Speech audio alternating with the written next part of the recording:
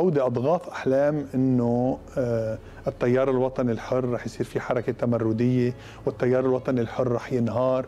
صار لنا سنين بنسمع استقالات جديدة من التيار الوطني الحر واتهامات بدكتاتورية الفصل. عنوان مقال لصحيفة النهار كشفت فيه بالأسماء عن استمرار سياسة الفصل من الوطني الحر لكل من يعارض بجدية الحلقة الرئاسية الضيقة في التيار والمقربين من رئيسه النائب جبران باسيل.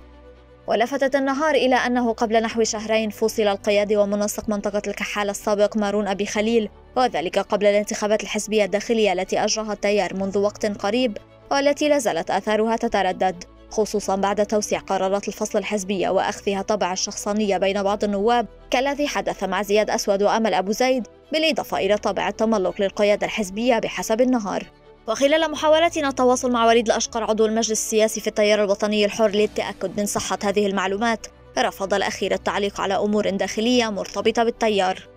بالمقابل أوضحت النهار أن أبي خليل الناشط على مستوى منطقة علاء كان قد ترشح قبيل الانتخابات النيابية لينافس النائب سيزار أبي خليل وفاز عليه بالأصوات إلا أن قرار الترشيح الذي اتخذته قيادة الوطنية الحر بقي لمصلحة سيزار وتم تبنيه وترشيحه. إثر هذا الأمر فضل مارون أبي خليل الابتعاد عن الحملة الانتخابية للتيار وعدم الانخراط بها وبعد أشهر قليلة من الانتخابات تلقى مارون وفق النهار اتصالا من المحكمة الحزبية أبلغته قرار فصله من الحزب بسبب عمله في مواجهة التيار بالانتخابات الأخيرة وذلك من دون السماح له بتقديم دفوع أو الاستماع إلى وجهة نظره.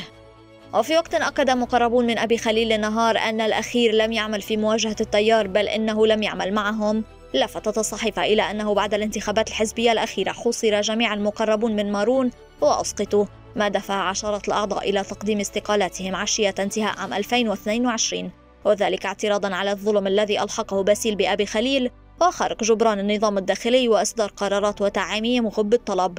كما لو أن التيار بات حزبا شخصيا ومن ممتلكاته. ورفض المستقلون وأغلبهم من منطقة الكحالة فصل وإقصاء الأوفياء والأوادم وإبقاء المستزلمين وأصحاب المصالح الشخصية بحسب النهار يعني لا يلتزم بخط رئيس التيار وبعلاجه وبإعادته وبتفكيره.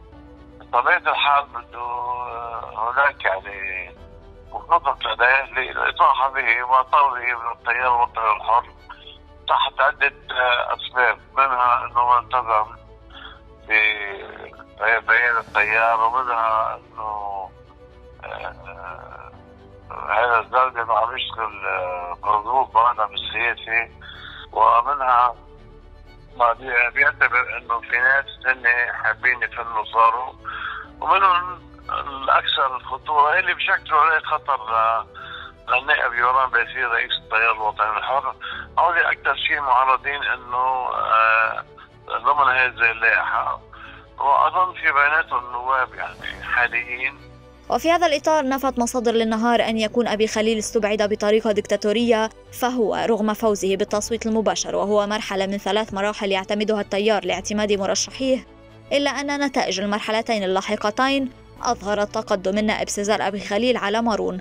وهو ما رفض مارون تقبله وأوضحت أن هذا الأمر حصل في أكثر من قضاء لا فقط في علي والتزم الجميع بقرار القيادة إلا أن مارون قام بالعمل لصالح مرشحين منافسين لمرشح التيار وقاد حملاتهم الانتخابية وهذا مرفوض حزبيا وفي كل المعايير. وتقول المصادر أن المستقيلين هم بعض الأفراد من عائلة مارون.